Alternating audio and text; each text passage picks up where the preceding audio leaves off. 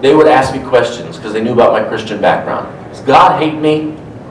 Am I going to hell? Would you read my favorite Bible verse at my funeral? Would you do my eulogy? Would you tell my son and daughter what happened to daddy?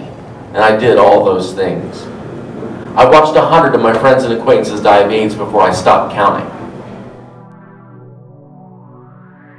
I have occasion to encounter the sentiment that if you experience same-sex attraction, then it is either impossible or undesirable not to live a gay lifestyle. But we have three gentlemen here today who are going to offer a different perspective on that question.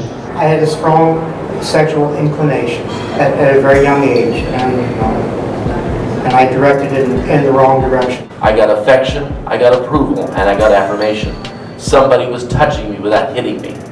Somebody was talking to me without screaming at me and calling me names. I knew deep down it was wrong, but because of the need I had, again, for the attachment and for male approval, I just kept going back for more and more of that. We want to belong, we want to be attached. To me, that's the big issue. And we get confused within our soul. But listen, I'm gay and I don't, I, I, I hate this, I don't like myself anymore, I, I don't want to do this anymore. Uh, and he says, no, no, no. He says, you're just the seventh or eighth person tonight who's called for the same reason. A year or two in college that I, um, that I found out about the whole scene. I didn't know there were so many people like me. You have to know who you are. You have to be comfortable in your own skin. And if you're not comfortable in your own skin, then you look to someone else to feel that comfort. We're very good at the don't. We're really bad at the why. The reason why God says don't is because of that bonding issue. We are fearfully and wonderfully made. All of it just shows that God's intent was for us to bond with one other person, and that person was to be our mate, our spouse for life. But it's wonderful to be able to understand that and recognize we don't have to become sexual to do that. I should have been one of those who were died and buried. So how did that happen? Because I certainly did what you do to get it. It becomes addictive. Sex can be very addictive. How do you explain healthy, happy, and successful LGBT couples and individuals? Even among what we call committed relationships, usually they're not really committed. Among the men, there's no such thing as monogamy. You can have a committed relationship, but it does not exist. Among the women, it does exist to a certain extent. They were committed, but they were not monogamous in their relationships. As desperate as many scientists are, as much time and money has been spent on it in the last several decades, there is not a shred of biologic, genetic evidence that there is a gay gene or that anyone is born homosexual. Not a shred. I don't believe it's right that each person has to make their own decision. What besides AIDS is harmful in the gay lifestyle?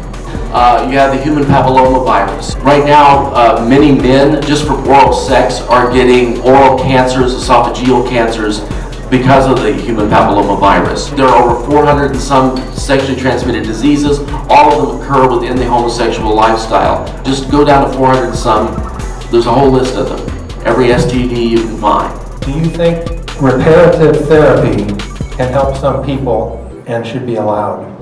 It's actually changing our internal view of ourself and our life. And I guess that's what I call repairing. So they're realizing today, I don't have to have sex to have a good relationship. Should it be allowed? Absolutely. All therapy seeks to repair something. If they have unwanted feelings, unwanted same-sex attraction, then they have a right to get the therapy they need to seek out the reason why.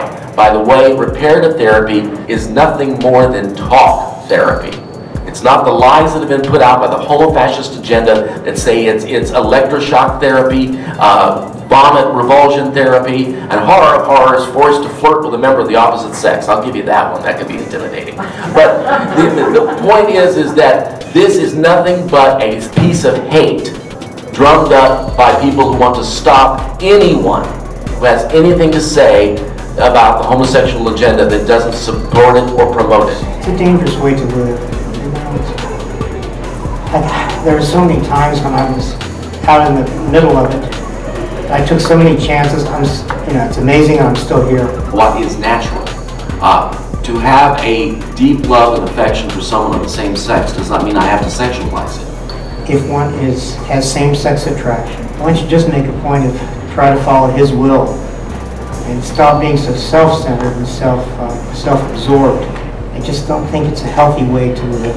And I, I lived that way for so many years, so I have first-hand experience.